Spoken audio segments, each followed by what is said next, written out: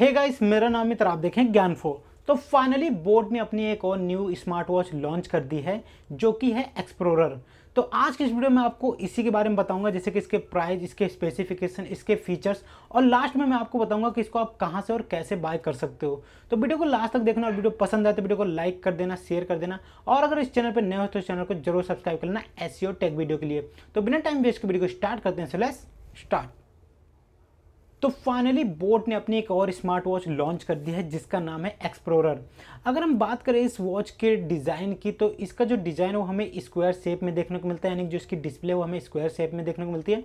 और उसके बाद अगर हम बात करें इसके स्ट्रैप की तो वो हमें स्किन फ्रेंडली सिलिकॉन वाला स्ट्रैप देखने को मिलता है।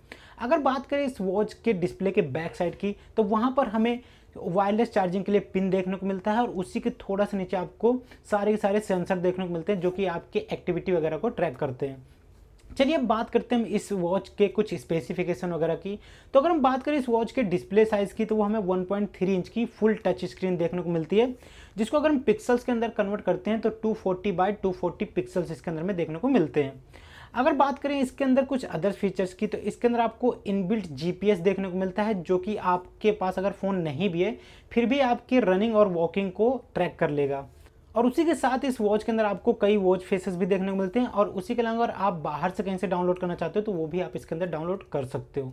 अगर बात करें इस वॉच के अंदर हम फिटनेस फीचर्स की तो इसके अंदर हमें एट स्पोर्ट मोड देखने को मिलते हैं, जैसे कि रनिंग स्विमिंग साइकिलिंग ये सारे हमें इसके अंदर स्पोर्ट मोड देखने को मिलते हैं। और उसी के साथ साथ यूज़र इसके अंदर अपना हार्ट रेट मॉनिटरिंग और स्ट्रेस मॉनिटरिंग वगैरह को भी देख सकते हैं।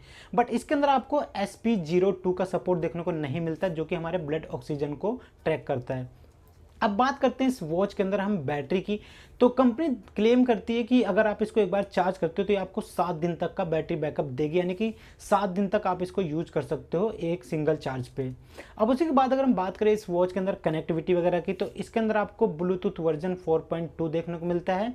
और उसी के बाद अगर हम बात करें इसके अंदर आपको फाइव ए वाटर रजिस्टेंट देखने को मिलती है इस वॉच के अंदर।